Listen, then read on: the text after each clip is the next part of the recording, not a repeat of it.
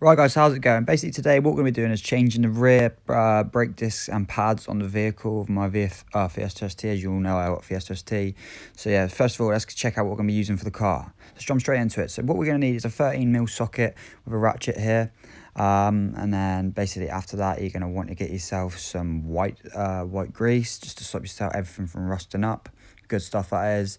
You can also use liquid buffer to clean off your caliper. Um, use oil, pen oil and stuff like that. And then you're going to want some metal grease to put on your um, pads yourself.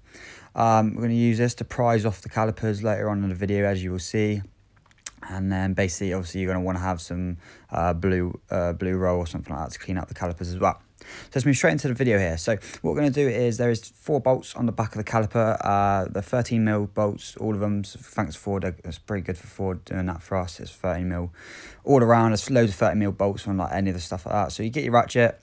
Um, and get your 13 and so we're taking off the um the carrier bolts here not the caliper ones if my arm gets out of the way so you look can see so yeah we're taking off the um the uh, carrier bolts here just waiting to see what I've just done. There we go. Back again. So yeah, taking a uh, 30, it's 13 mil socket using it and we're taking off the uh, carrier bolts right now. Now they were a bit tight.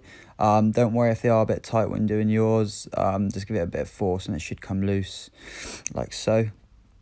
Um, the top one was pretty, well, it was a bit hard, but you know, as I went along, it was relatively easy enough to do. And then like, as I said, the bottom ones should probably will be the same, but but yeah, um, they're quite small bolts and they've got Loctite already on the um on the thread itself, which was handy. So I didn't have to put any more Loctite on. Um, here we are going on to the bottom bolt. Now there is um another set. No, am I about? This is not the bolts for the carrier. I apologise.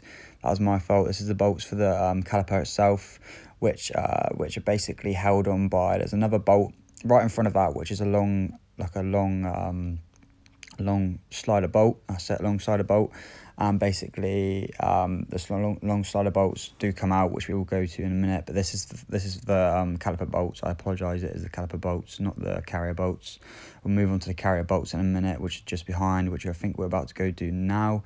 We are. So both the bolts, um, both the bolts themselves, the carrier ones and the caliper ones, are very were very tight, but then they have to be. So make sure when you do do them up later on in the video, uh, or later on when you're doing them yourself, you do them up really tightly. So basically here we're like as you can see they're a bit tight to get off. Once you get them going they're they're fine. Um also as well you will see later on that i do clean out the caliper really well. That's one thing you've got to make sure you do when taking off the caliper and um doing it all. Make sure you clean the carrier the caliper because the carrier is probably one of the main things. I know you've got to clean your caliper as well but obviously your carrier is carrying the um pads themselves. And as you can tell by this video the uh, the pads and well the, you can't really see the pads yet but the discs are absolutely hanging. So here we are moving on to the second bolt of uh, the carrier bolt. Now this this one was a bit more tighter so i'd put quite a lot of force into this one but i did eventually get it off. So don't worry about you know rounding them off. They do round off these but um these bolts. They are quite easy to round off but don't worry about it. Just take your time doing it and you will be fine getting them off. Now, handy for me, I was able to do this, you know, around people that knew a lot about brakes, as I wasn't like hugely good on brakes themselves. Um, it is pretty similar for the front caliper as well. Just obviously, there will be something different in a minute, which I will talk to you guys about, which we're going to go straight into in a second. So, yeah, that's the bolts off. Moving on, next we are going to head and prise off the cal uh, prise off the caliper. This was the help of my friend who came over and told me how to do this bit obviously, yeah, I got a prise the caliper off because it was on quite tight. Um, but like, it would probably be the same taking the caliper off for you guys. So once you've got the caliper off, um, it's pretty straightforward. They are just literally like, as you can see, the bits coming off the top there. That is the little rubber, um, little rubber bits there at the top was for the uh, long, long thread bolts. Um, so yeah, as the caliper off, uh, the carrier is on the floor. So here we go. This is a bit I'm on about. So basically, what you'll get is like a wind up tool. Um, because obviously when you're when you've got your foot down on a brake and you've got your handbrake on, there's obviously the bit that pushes the pads in to the um, disc itself, and that's the bit you have to push back in using one of these turn up tools. Um, relatively easy to use.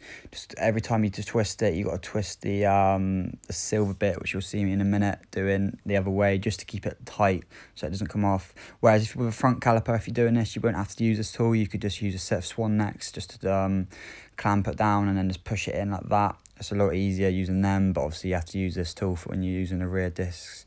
uh, with rear the calipers, I mean. So yeah, that's pretty much that. I just took a fair amount of time doing this. So whilst I'm doing this, I'll just talk about to you guys quickly about um, why you know ensuring your calipers have got to stay clean. That's your main thing. Honestly, I you'll see in a minute. I had a major difficulty with my um, long uh, long threadless bolts, which are the on the which are on the um, carrier itself. And basically, what happened was. Um, well, actually, we're moving on to the next part of the video here. So yeah, once you've taken it off this, uh, this, oh, the, the little roller, um, basically what you want to do is get a set of mole grips and undo that bit because it was quite tight on and, you know, it took a while for me to get it off. But yeah, basically after that, you are basically all good to go. You can take the disc off as we just took there and that thing was an absolute state, like I said before. And then, yeah, the calipers hanging low. You can just leave the caliper to as it is now because you're not really going to need that until later on. So we're going to move over to a vice clamp here. Um, bring bring your carry over. Now this is one thing you're going to want to do because obviously you carry in your um your brake pads within this. So obviously the little grooves that you'll see me in a minute um using a wide brush on and a flat head on.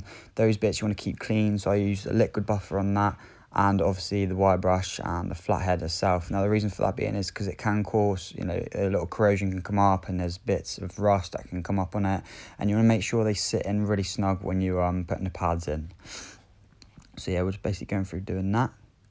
Um, one thing was one thing I talk about to you guys was like about these long thread bolts. So these long these bolts here that are on the um, end of the carrier, there is one bolt on each side those got stuck. Um, basically, the reason they got stuck is because of um, how much shit got clogged up inside. It was all rusted out, so we had to um, spend a bit of time getting that out. So that's why we cut out a fair bit of the video. Um, I, I should have shown you guys really how to do that. Um, but what we did was we banged the nuts out and uh, basically gave them a good clean. Because obviously they're threadless, so they just they should be sliders. They should slide in and out really really easily, but they just didn't.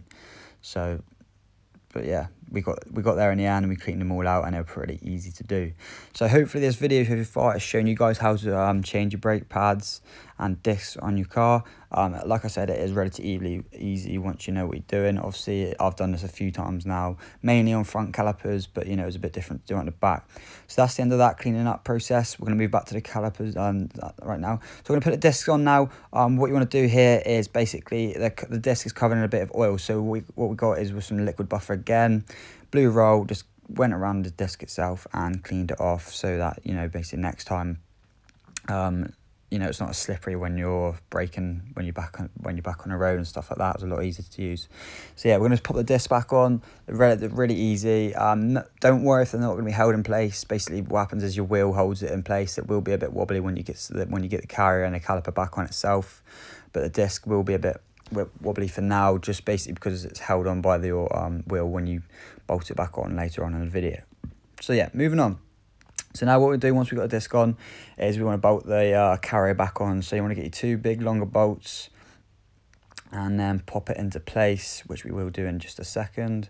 And then once you've got it in place, you can basically, um, I've got to do a little bit of fiddling. You just want to get it back, you do want to get it bang on in place. Uh, make sure you do hold the carrier and do up the do up the bolt at the same time. Don't do them all, don't do one fully up, else you'll have a bit of a problem doing them up. But uh, make sure you do like both of the bolts in place and then do them up a little bit and then just like use your ratchet to do them up a bit more and then once they get tighter and tighter just you know work in between both of them like that so you see, as you can see me here this is me just doing up the uh, carrier bolts and then we can move on to the um, to the caliper bolts themselves in a minute so yeah, this is just moving on to the part where we did have a bit of technical difficulty. Um, this is the part where we actually yeah, put the carrier back on and realised the um, technical situation on this part. got his Nemo cup out. Ah. We were saying technical difficulty, but I cut that bit out.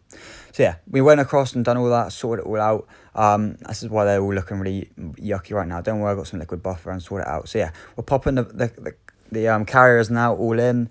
Make sure you do your bolts up like I said and then we're popping the pads in themselves now. Now you see those little clips on the end, you want to put them up a bit because I did make a mistake. Um, I did go back and change it though, don't worry after this video I did change it. It was only because my mate realised and he told me. basically yeah those clips want to be up a bit more so that basically when you put the caliper on you do not want to like see the, those silver clips at all you don't want to see them poking out as you will see in a minute i one of mine were poking out so make sure you look make sure you guys don't make that same mistake as well um and yeah once that's done we can go ahead and get the caliper back on now as you can see they're on a little um at the top there you can see the that is where the slider bolts are. Now they are sliding very well. That's the reason why they need to slide is so that we can get the caliper back on because you need to pull them inwards and then basically put, put the caliper um, over it so you can bolt it in properly. Um, make sure you do hold it in place and like I said again, do not go ahead and um, tighten up one of them as tight as you can because you're not going to be able to get the one other one on. So yeah, once that's on um, and all in properly, which I'm about to do here, I had a bit of a problems doing the second one, which was on the bottom. So what I did was um, I got down and went behind it, um, went behind the disc and caliper itself. So it was a lot easier for me to get some more leverage and then I could get the bolt in itself. So here you go. I was putting it in hand tight here. Um, ignore how crap my gloves look. They're just really old gloves that I was, I was using today. Um, I'm getting some new ones soon. But as you can see here, it's quite fiddly doing it. But yeah, moving on now, we're moving on to this bottom bolt that I've just done. So basically, yeah, I've done the first bolt. Um, I did it up finger tight, and I'm doing the second bolt down below finger tight. And then after that, you basically you get you can just um, use it, use um, just tighten it up. There you go. The sockets out there. It's relatively easy to do. Just give it tight. Make sure you do do them tight as well because this is your main bolts. You want to get tight. Um, make sure those carrier bolts are really, really tight. So here we're moving on to absolutely actually tightening on to the, um, the caliper bolts properly now.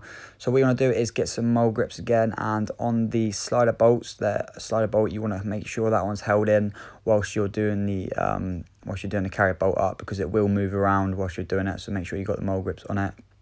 And once the mole grips on it, you should be able to tighten it up relatively easily. Um, but yeah, like I said, the Ford bolts, most of the Ford bolts on the on the car, like doing the um doing the oil, uh, oil plug and that was thirty mil and stuff like that. So it's relatively easy, like I said, no no problems whatsoever. Um, yeah, here's me just moving the grips down just so I can get the other bolt as well in a second. But I did really go as tight as I could for these because, you know, don't go getting like a torque wrench and setting it to so many newton meters of torque because you're bound to get it wrong unless you've got Autodata. Um, but yeah, you, honestly, I'll just go by how like tightness you hand. I mean, you could go, you can do it properly using Autodata, but I didn't in the end um, because like, I know it's I know it was tight enough, and I got someone to check for me if it was tight enough as well. Yeah, so here's me doing the bottom one up. Um, like I said, relatively easy. Um, so far in the video, if you've got up this fast, if you got to this part of the video so far, then you're doing really good. Um, it did take me take me a while to do my rear calipers because this is the first time doing my my own calipers on my car. But like I said, hopefully if you follow the steps within this video, you should be able to do it yourself um, relatively easy with some tools at home and some liquids like liquid buffer and like you can buy online relatively relatively easy from like tip top and stuff like that. So yeah, basically that's it. Um, I just did go over them again just to double check because like I said, you do want to go over them and make sure they are really, really tight or else you will have problems. Um, caliper can come loose.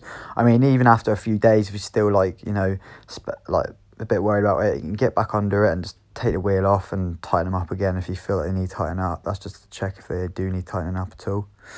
But um, yeah, like I said, I just went over them again just to double check, just to make sure they were really, really tight. And I, as you can see, I've got a bit more with leverage in there. Um, I was able to tighten them a bit more. Now it does look like I'm sort of going to snap the snap the bolt here, but I didn't. It was just because I was I had the socket in the wrong way. So yeah, once that's done, that's pretty much it. That's how, that's that's you guys done now. Thumbs up. If you got that far, then well done to you lot. It did take me a while. So after that's done, you want to go ahead and bolt your wheel on, obviously. And then once you're in the car and got it started up, make sure you pump your brakes straight away. Don't even take off the handbrake or anything like. Pump your brakes and then, you know, you'll be all good to go. So hopefully that tutorial has helped you out for you guys. Um, if it hasn't, then I'm sorry, but this is for a Fiesta ST. Hopefully it's just for a normal Fiesta as well, but I'm not too sure. But as you can see, here's the pads and discs afterwards. They're really, really bad condition. And yeah, that I know they're horrible, and I was so glad I changed my rear pads and discs. But yeah, I did use Brembo pads and discs if any of you guys wanted to know. So yeah, thanks for watching, guys. Hope you've enjoyed this video. Hope it's been helpful towards you lot. Um, like I said, all the parts at the beginning is the parts I use. That's all you're going to need and we have got another video coming out soon so stay tuned for that guys. Subscribe like and comment. And yeah make sure you check out everything out in the description below. I will see you all in the next video. Bye bye for now. See you later.